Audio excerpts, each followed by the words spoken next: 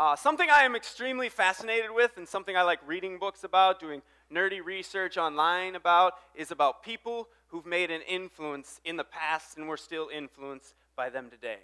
So people like Albert Einstein, Steve Jobs, um, George Washington, Abraham Lincoln, these people who had a passion, had a desire for something that is bigger than themselves, and when they passed away, we are still being affected by their lives. They've changed something. They decided to go after something and leave everything behind and change the world, and we're still seeing what they did today. Um, they, let, they often sacrifice time, they sacrifice money, and sometimes, unfortunately, they sacrifice their families. Get to the point that we are today, and we're influenced by these people. One of my favorites is this guy. And I'll be honest, the reason that I might have originally liked him is because of the guy on your right hand side, that little mouse there. This is Walt Disney. And I'm fascinated the fact that he did something that we're still talking about today, even though he passed away in 1966. He had this vision that he would create a place, he would create movies that both children and adults could go to. And they could go to and they'd have fun. And that's what you see when you watch his movies, and that's what you get when you go to his theme parks. In 1966, he passed away. Uh, 16 years later, they opened up Epcot Center. And Epcot Center was kind of a nod to the future, kind of their view of what the future could be like. So they wanted to do it big. They wanted to have a big celebration like Disney would have done. And as they did it, they hired a band, they hired all these things, and they, they thought it'd be a good idea to have Mrs. Disney come and do the honorary ribbon cutting at the time. So as they had this ceremony, um, the MC's announcing it, and then he says, Mrs. Disney, would you come and join me on stage to cut the ribbon? And as she's coming up on stage, the MC looks down at her and says, I wish Walt could have seen this.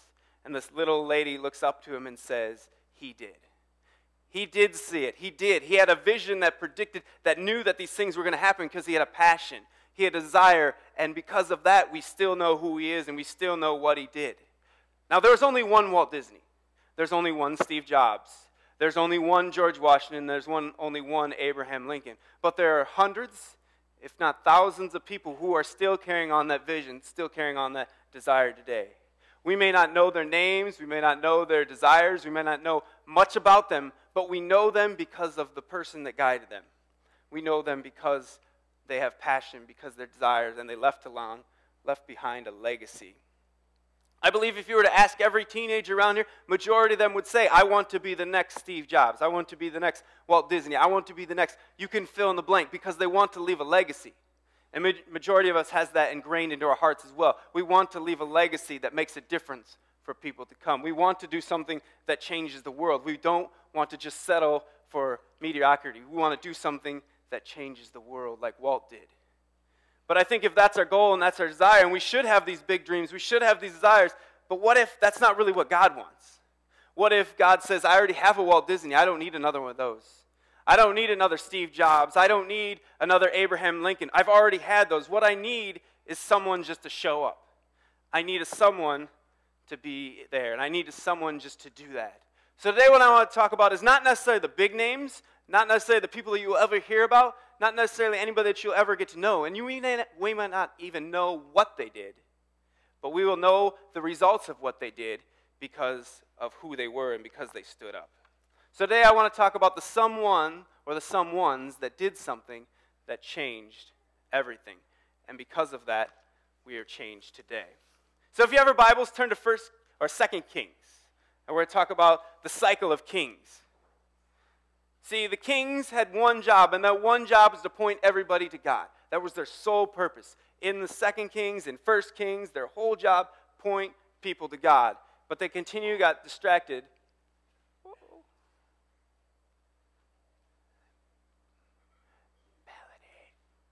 the bright, shiny objects of this world.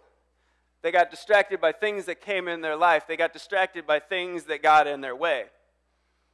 And God says, These things that you allow in your life, these things that you allow to be there, there are things that are going to be distractions. There are things that are going to take you away. And God says, These bright, shiny objects, they're distractions. You can't allow them. God says, Focus on me. See, the bright, shiny objects that we have in our life are always going to pull us away. They're always going to take us away from what God has planned for us life. So the kings of this time decided to search after these bright, shiny objects. These kings of this time decided not to follow after God. They knew that God loved them, but they said they looked over to the left, they looked over to the right, and they saw these cities, they saw these cultures, and what they saw was something that they didn't have. And they decided to seek after that instead of seek after what God had planned for them. And when they did, God said, That's fine, I love you, and God removed his hand of protection on them. See, God loves us enough to say, You know what? If you I love you, but I'm going to let you choose what you want to do. And God let them walk away. And when they walked away, He lifted His hand of protection, and then they would eventually become in captivity. So the cycle of kings looks something like this you have a king that serves God, and then you have a king that follows him that unfortunately doesn't serve God. He gets distracted by these, the bright, shiny objects. And as he's distracted, he leads his people away because he's supposed to point the people to God. And they follow and they get go through pain, they go through suffering. And then a king eventually has to come along and say, I'm going to serve God, and as we I serve God, his people will serve God. And that cycle continues on and on because the next king is going to probably not serve God. And it's kind of a sad, sad story that we read, and we're like, why do they continually choose this? Why do they continually ignore God? Why don't they continually follow God? Why, why do they continually settle for the things of this world? Why can't they do, get it right? And the simple answer is, as we're reading this, and this is the answer you can fill in for just about every answer in church, the answer is Jesus. They should have served Jesus. They should have followed after Jesus. But no, they didn't. They saw the bright, shiny object. They saw the thing that they shouldn't have pursued, but they went after that. They saw the thing over there that looked cooler and neater, and they decided to go after that. And we read this story, and we have kind of a helicopter, kind of like a bird's eye view of history. We know the cycle. We know what's going to happen. A king serves God, a king doesn't serve God. A king serves God, a king doesn't serve God. We know the simple answer is Jesus, but we know that they didn't do it and we kind of start scratching our heads and we start wondering why did they do this? Why do they continually fall? Why do they keep messing up? The same is true when you read the story of Adam and Eve. We know that Adam and Eve are going to eat that apple. As much as we can say in our heads, don't eat the apple, they're going to eat the apple. They're going to fall for that easy fruit. They're going to go after that thing that they shouldn't have because they look inside of themselves and say, We know God loves us. We know God cares for us. But we know there's something over there, and that looks exciting. And it's that easy low hanging fruit, that comfortableness that they're going to seek after. So look in 2 Kings 2 13 2. And we're going to talk about a king Jehoahaz. And I'm just going to call him King J because I cannot say that name too many times. King Jehoahaz, King J. And it says that he served or led his people for 17 years. And then it says a phrase that we often read in the Old Testament King J did what was evil in the sight of the Lord. And this is a phrase that is repeated over and over to refer to the kings because they did evil. They didn't do what God asked them to do, point to God. They decided to do their own thing. And King J did what was evil in the sight of the Lord. And he did what we often do with our sins, is that we try to hide our sins. We think our sins are just our sins. And we try to hold them in. We try to hide them underneath rugs, put them in nice little neat containers, and say, This is my sin. It doesn't affect anybody. But King J was the leader of God's people and as the leader of God's people who's supposed to lead them. But if, you, if he continues to deal with the sin, the people that are following him are also going to be dealing with that same sin. So you can hide your sin, you can try to keep it all to yourself, but that sin is going to affect the people around you. And the Bible says that he did evil in the sight of God, meaning he might have tried to hide it underneath the rug, but God says, I see your sin. I see what you're doing. You may think it's a hidden sin, but God says, I see that sin. You can try and hide that and clean that out of your system, but it's still there. So, what did he do? The Bible says he committed the sins of Jeroboam. This is another king that starts with the letter J, so it may get a little confusing. The sins of Jeroboam. And if you read that, he committed the sins of Jeroboam, maybe you freak out a little bit because that sounds pretty scary. The sins of Jeroboam, and we get stressed out. But we really don't because nobody probably knows what the sins of Jeroboam are. So we read that the king, just Jehoahaz, King J, committed the sins of Jeroboam, and it seems like a foreign concept. It's something that's floating out here in space, and we really can't grasp it. It's like some complex math formula or something that we'll never understand. But he committed the sins of Jeroboam, meaning it was a sin, it was something that he struggled with, it was something that he put in front of God. So let's do something and apply it to our own lives. Let's take the sins of Jeroboam, it's a sin, it's something wrong, and let's make it something we can grasp onto. The sins of Jeroboam, he committed the sin of stealing. We all know what that is. We struggle with that. We know what that is. We're taking something that doesn't belong to us. He committed the sin of stealing, or he committed the sin of lust. We know what the sin of lust is, and now what we're doing is taking this foreign concept and making it much simpler that we can understand and we know when he committed the sins, it was actually something big because now we've put a name on these sins. He committed the sins of adultery, and we know what that one is. Again, and it's something that we're applying to. And finally, he committed maybe the sin of murder. See, now we've taken this subject that's way up here that we do not understand, and we brought it down to our own level and said, these are th- things that we struggle with. These are things that I struggle with. These are things that we have that are going on in our life day in and day out. So it's no longer something that could have happened, it's something that did happen. It's something that is happening to us. And ultimately, what the sins of Jeroboam are the sins of looking away from God. See, the sin of Jeroboam is a king that was before the King J that we're talking about. He was a king that was serving God, but all of a sudden he thought it'd be a good idea to start building up idols.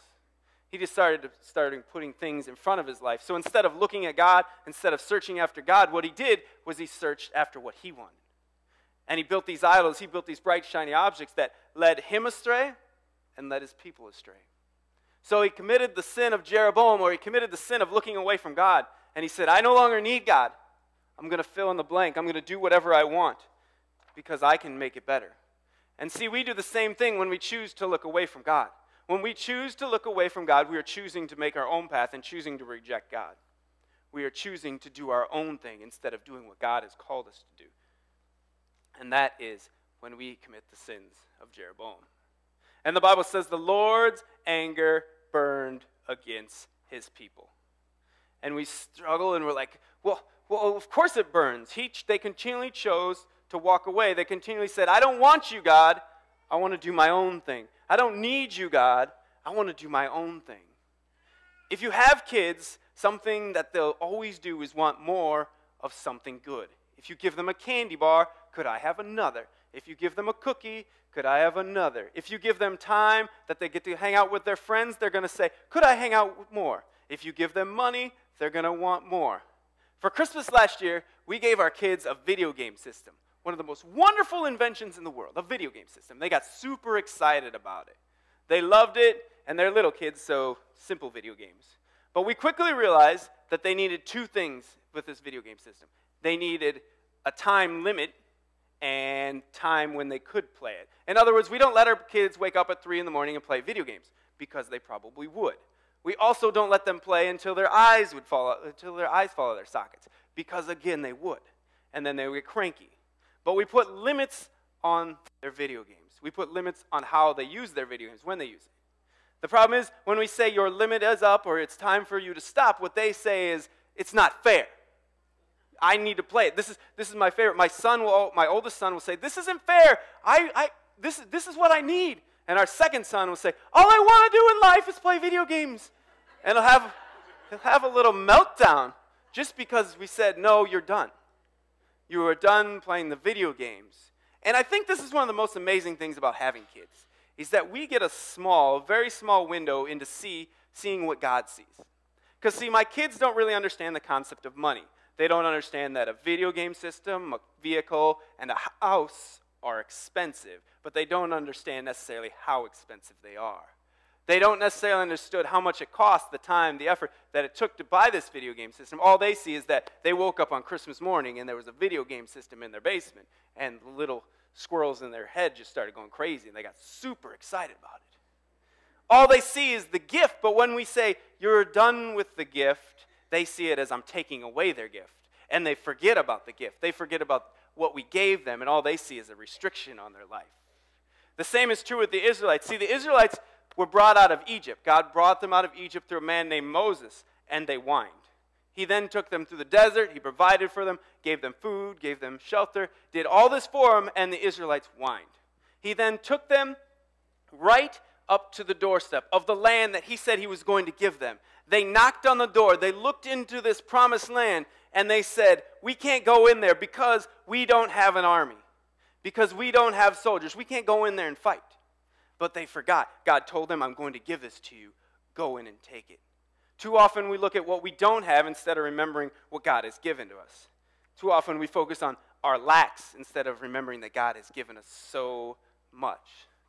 So, back to our King J. His one purpose in life was to point people to God. But that was the one thing he didn't do. Every morning he should have woke up and looked in the mirror and say, I'm going to point people to God. But every morning he did not do that. He said, pointed people away from God, and he pointed people towards other things. And this is why it's so important that you pray for your leaders of this country, of your city, of your state. Pray for all your leaders because God allowed them to be where they are. And they each have a choice. Will they point to God or will they point away from God? It's always their choice, and they need to be encouraged. So God is mad, rightly so, because his people said, I don't want you, I don't need you, and they decided to do their own thing. And it says that they walked away spiritually, meaning they no longer connected to God. There was no talking, no communication. And then they walked away physically because it says God raised up a king named Aram to come in and take them by force to another area. And this is where we stand up and say, This is not fair. This is not fair. I'm a person of God. I follow God. This is not fair because I'm American. This is not fair because I live in Clinton, Iowa. This is not fair. And your list goes on and on. But we continually rejected God. We continually walked away from God. God said, I love you. I want the best for you. But you and I continually walked away. And the Israelites walked away and said, I'm going to do my own thing.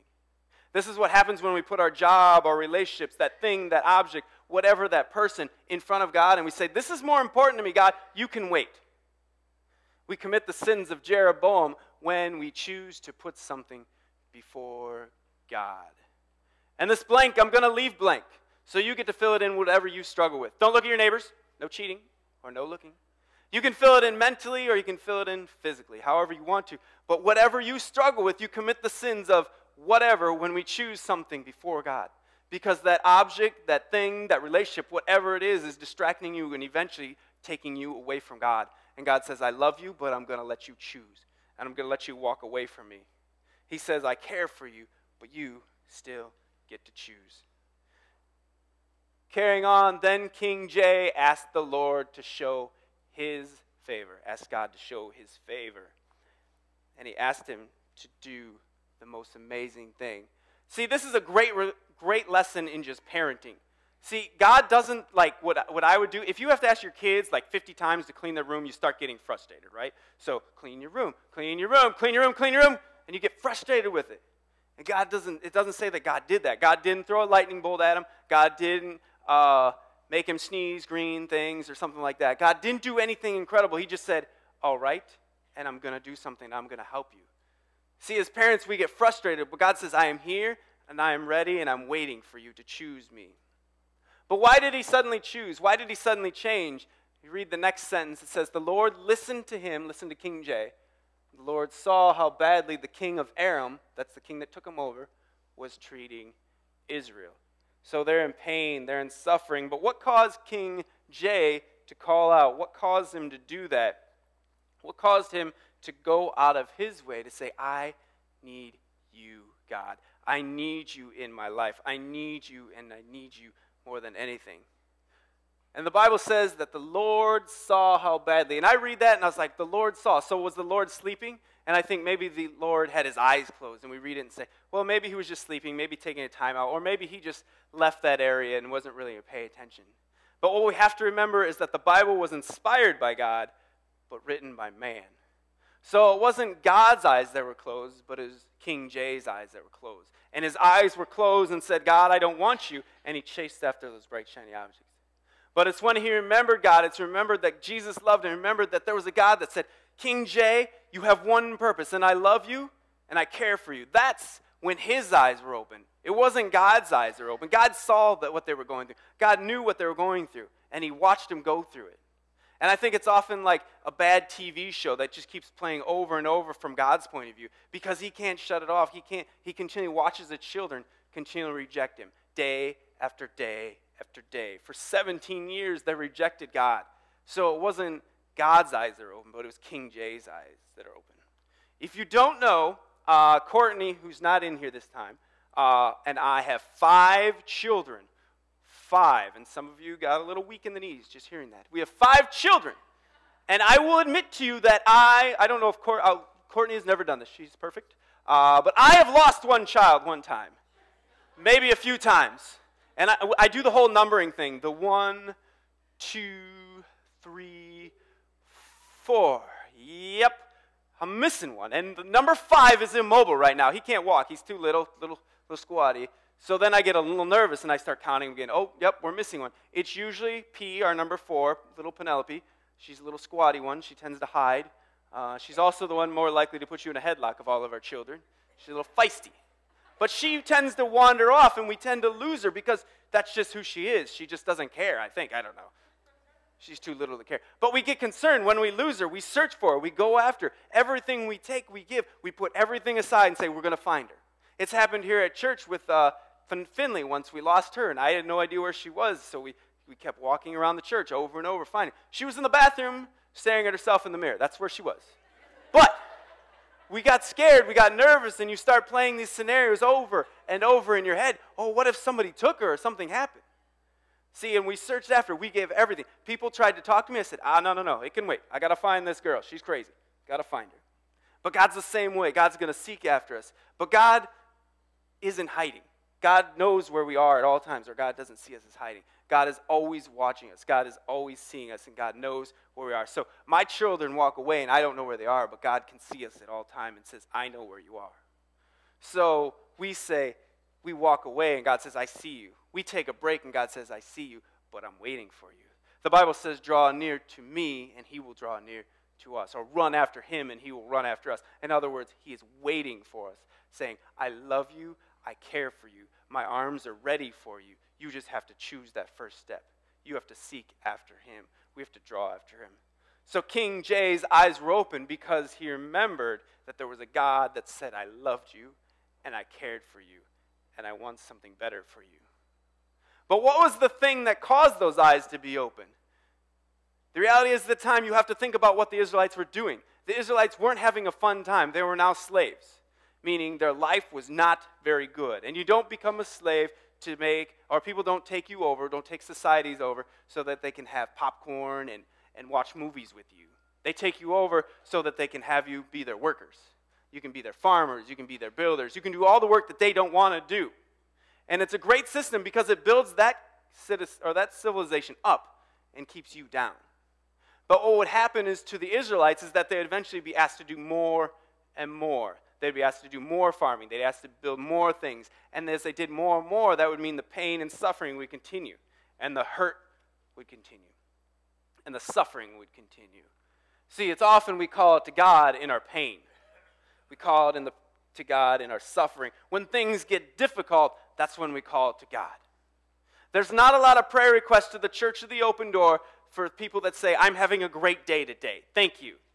Most of the time, people ask for prayer requests when they're suffering when they're in pain and they want help and they want a way out. They're looking for that. We don't go to the doctors when things are great. We go to the doctors when we're hurting. We don't go to just talk to the doctor. We usually go there when we're hurting and when we're in pain. And the same is true with God's people. They don't call out to God until they're in pain, until they're in suffering. And that's what happened to King Jay because his pain and suffering of him and his people got so severe that he remembered there's a God who loves him, there's a God who cares for him, and there's a God that says, I want the best for you. And he remembered that. And his eyes were open. See, if we live a life of comfort and we live a life of cushiness and we settle for living in a hammock and everything's great, we never call out to God. But unfortunately, we have to get to the point often that we call out to God. Then that means we sometimes have to go through pain to remember that God loves us. We go through pain and remember there's a God who cares for us. Unfortunately, a city, a nation has to go through pain to remember that God says, I care for you and I want something best for you. And when we talk about people going through pain, people suffering, some of you guys even have people of people images in your brain of people that you know are continually choosing wrong choices. And what are we doing along those people? What are we doing with those people? How are we helping them out? See, some people would say, Ha, you continually rejected God, you deserve this. But what we need to do is just the opposite. You continually rejected God. I'm here. What can I do to help? What can I do to help you get through this pain? What can I do to help you through this suffering?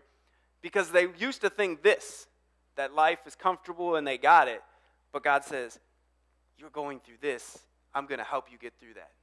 So it was in the pain that King Jay called out. It was in the pain when Clinton, Iowa will eventually call out. It's in the pain when a nation will call out. And it's a pain when a world will call out because God has something better for them. It's a pain that we will call out, and God says, Our loving Father says, I am here for you, and I want something better for you. Verse 5 carries on, and this is something I've read over and over. And finally, this last time when I read it at the beginning of this year, the Lord provided someone to save them. And I love this idea of someone. See, we live in a world that everybody wants to get their name out. We live in a world that when you go to the supermarket or you go to any store, there's magazines filled with someone's who are doing something. And we can read about these famous people, about the food they ate, the clothes they wear, whatever they did last weekend. And we can read about that because we live in a world that wants their brand, their name out there. We live in a world that wants to push those names and wants to push those ideas forward. But God says, I don't need the someones. I, I need the someones. I don't need these famous people. I need people who are just going to show up. I don't need a certain somebody. I just need someone to do this.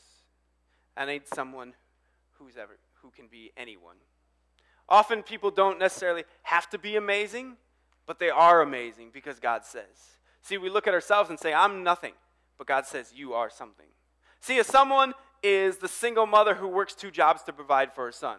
A someone is the guy who continually goes the dead end job that isn't going to go any further, but he does it because that's what he has to do. The someone is someone you're sitting next to at McDonald's. The someone is the one driving the car in front of you when you leave church today. The someones are everywhere, and each and every one of us are all someone. Each and every one of us are someone who God has created. We make excuses saying, I'm not special, I can't do it, but God says, I created you and I have something special for you. We have to stop thinking of how we are losing our video games and remember that God says, I've given you this. Or stop thinking about the warriors we don't have and remember that God says, I've created you for this. See, if someone was a Noah who God made for a specific time to build an ark to save his family and then save animals. A someone was a Moses who God created for a specific moment to lead his people out of Israel. These are all someones that we now know of but they were just someone's. In youth group, we started a series in labels, and I love the idea of thinking about labels because labels have power.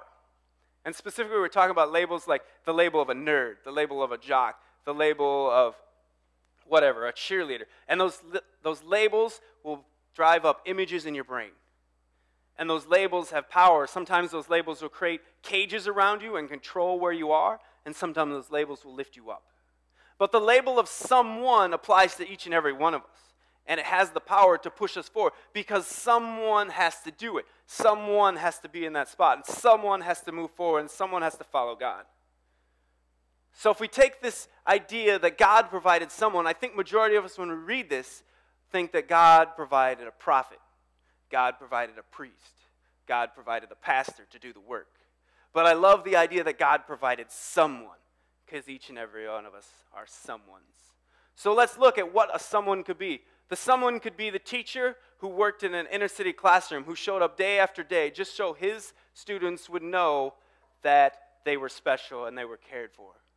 A someone is a businesswoman who raised money for children in Africa who were struggling or struggling and suffering from AIDS. A someone is a biker who rode across the United States just to raise money for cancer. The someone is a barber who just decided that he would cut hair of children who were suffering from horrible diseases. The someone is a cashier who day in and day out would go to her job and just smile and say, I hope you have a great day, and do it with joy and excitement in her voice. These are all someone's. They did lasting, incredible things, but we'll never remember their names. Majority of you probably have heard the news that uh, the bombing that happened in Manchester, how horrible that horrific event is. But I love the little stories of the someones that are stepping up. The someones are the, the homeless man who stood with the lady as she eventually passed away, or the homeless man who went over and held another person's leg because she was bleeding, or the someone who helped the children get out. There were three or four at least homeless people who got up who weren't even emergency workers, but got up, went out of their way, and said, I'm going to be someone in this moment. I'm going to be someone that does something that's going to change these people. And now we know their stories through the news, but they were honestly no ones. They were homeless people that majority of the people probably didn't even notice that they were there. Majority of the people probably just walked by and said, Those are just homeless people. But they said, I'm going to be someone in this situation. I'm going to be someone who makes a difference. And sometimes what we do is with this God provided, we say, I can't do this because I'm someone who struggles with something. I'm struggle, I have problems, and we start eliminating ourselves. But God says, I'm going to take a liar named Jacob to lead his people. I'm going to take somebody who struggles with anger to lead his people. That was Moses. I'm going to take somebody who was an adulterer and a murderer to lead his people once again, and that was David. I'm going to take someone who witnessed a murder and probably witnessed many other murders to write majority of the New Testament, and that someone was a Paul. So our labels that we apply to ourselves where we start eliminating ourselves, saying, I can't do this because I have this problem, because I'm struggling with this, God says those labels don't exist. I don't see those labels. I have something planned for you. I have something better for you. Will you be that someone that stands up and says, I am going to do that? God continually says, I am waiting for you. God continually says, I am ready for you with his arms open. Will we be those someones? A someone isn't about a stage or a name, it's about his name. See, often what we do is say, I'm not on stage, I don't have a platform. But these people that are someone's are stepping forth and they don't have a platform. Again, the homeless people was just there. That just happened to be where they are. You guys are where you are because God has a plan for you. A someone in 1994 this little chunky guy right here, that's me. Moved here in 1994 to go to high school here. And Then he graduated, and then he went away to college for five years. Five-year program. I didn't. I didn't settle. Five-year program, and then I worked for 10 years. All the time, God was bringing me back to Clinton, Iowa. At the time, I didn't want to move back to Clinton. I didn't want to do it because Clinton smells. I'll be honest, stinks. Didn't want to do it. In fact, before we even moved in 1994, I didn't want to move to Clinton because I've never heard of Clinton. I didn't know what it was. But God eventually took this someone, this guy, that chunky little shy guy right there, and said, I'm going to use you to make a difference. And that difference was that there was a dark place, and God said, I have a vision for you that if, if you could change one dark place, you could change, begin changing the families. You could change the community. And that was one place that we go to, and it's called Clinton High. That was the most darkest place that I could think of because I know it was dark then and I know that it's darker now. But I knew that if you could begin to change the people of Clinton High, if you begin to change, just give them a little light, a little hope, eventually you would change those people. And those people, as they graduate, would not only just change their families, but begin to change the communities, then begin to change the nation because they go all over. And if you can change one place, one dark place, you can begin to change the world. So God said, This chunky, shy kid who doesn't really like people, I'm going to take that someone and I'm going to put him up front and I'm going to make him talk to people. This chunky, shy kid does not like kids, does not like people, does not like being in front of people, does not like that at all. But God says, I'm going to take you, I'm going to use you. And my excuse was, I don't want to do that. That's not what I'm called to do. I'm not good at talking to people. I don't like people, God. Why are there so many people around me? But God says, I'm going to use you anyway. And then it came to the ultimate excuse all I have, God, God said, You have me. What else do you need? And I said, Well, I, I, I guess that's good enough. And we start rationalizing my brain, saying, I guess that's good. But God says, I'm going to use you to do something. Will you be that someone to step into that place? Will you be that someone?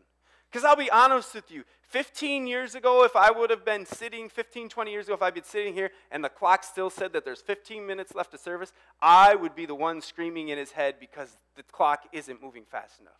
15, 20 years ago, when the pastor said, I have three more points, I would be the one who, ah, I got to figure out a way out of here. This is, I'm not going to last it. Because I just wanted to get by. I didn't necessarily want to be here. But God says, I see something inside of you, and I'm going to plant something inside of you that will grow and some passion, some desire for this community, for this city. So, what you see now is a someone who is in front of you that said, God, please use me. Do whatever you want with me.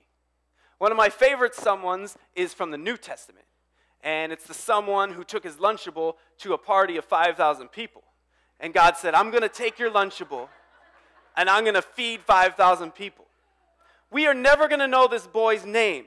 We are never going to know what he even did after he did this. This is the only thing we know about him. One little point. But God took that Lunchable and fed 5,000 people. He influenced so many people because of that. And still today, we're telling the story of this kid that showed up. And he didn't do what we often do. See, what I think if I was in that situation and I showed up with my Lunchable and 12 strong, burly fishing men, whatnots, came and said, I want your Lunchable. I said, nope, This is my Lunchable. He's God. He can figure it out, can he? And we hold on. This is what we often do. We hold on to what we have and we hold on to things. And God says, Will you give it to me? Will you let me do something amazing with what you have?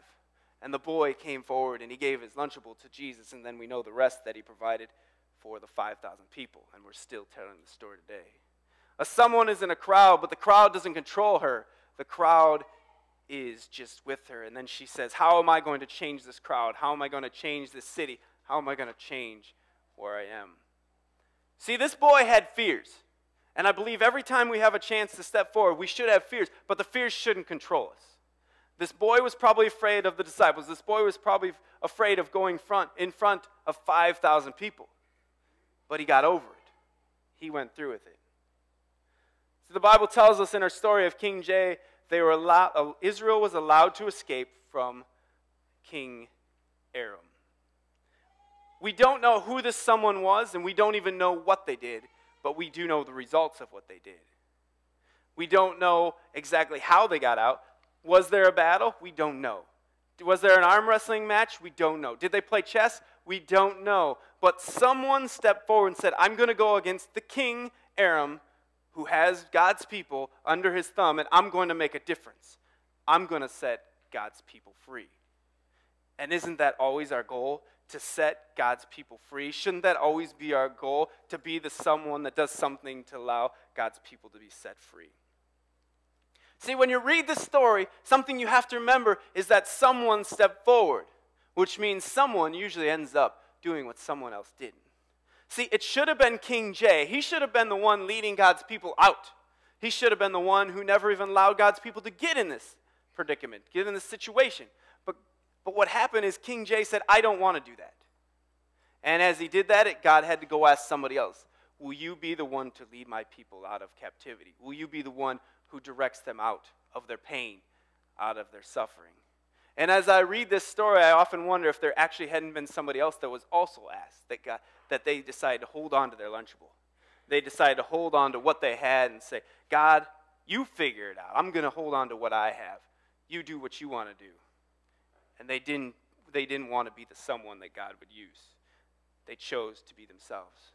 So, God, right now in your life is saying, You are the someone in many in the circle of friends that you have. You are the someone to make an influence. You are the someone to do something. You are the someone to do something in their lives that's going to help them get out of the king of Aram's kingdom. You are the someone that's going to help them set free from the darkness that they are struggling with. You are the someone that's going to make a difference in their life. You get to be that someone. You get to be that special someone that's going to make a difference, that's going to change everything in your lives and their lives. But you have to say, I am willing to do that. You have to step forward. You have to be willing to do that. The Bible then tells us this So the people of Israel lived in their homes just as they had before. And I wish this could be our Walt Disney moment. I wish this could be the happily ever after that God's people finally figured it out. They decided to serve God and serve Jesus with everything they had. But they didn't. Because it ends with this. But the people didn't turn away from the sins of the royal house of Jeroboam. They didn't turn away, they returned back to where they were. They forgot about the someone who did something that changed everything. And they forgot about the pain, they forgot about the suffering, they forgot about calling out to God, and they went back to their old ways. They went back to what they had. They decided to seek after the bright, shiny objects again instead of seeking after God.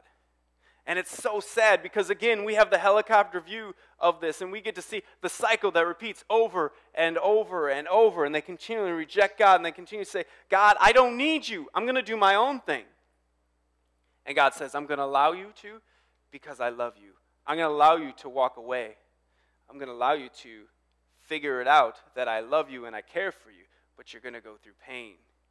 And we begin saying, why can't they figure this out? Why do they continue choosing wrong things? Then we have to start looking at ourselves. Why can't we figure it out? Why do we continue making wrong choices? Why do we continue going down wrong paths? Why do we continually walking away from God?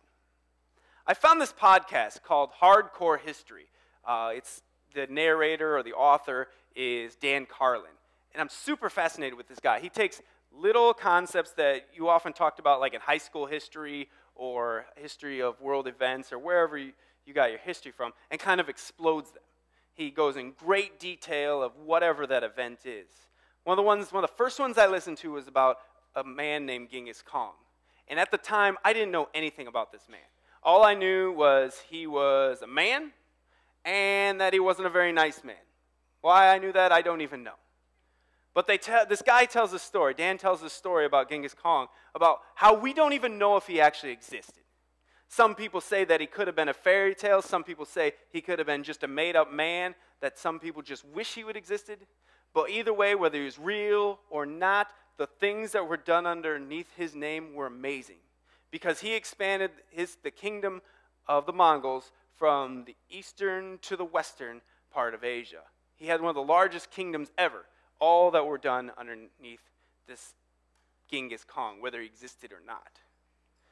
Genghis Khan was a Mongol, and he, they were uh, nomadic people, meaning they traveled around. They couldn't live where they were because it was a horrible, horrible life. It was uh, freezing cold. It was just horrible, arid temperatures, and it was just a terrible, ter- uh, excuse me, terrible place to live. So they had to leave it year after year, and then they would come back for just a little bit, and then they leave out.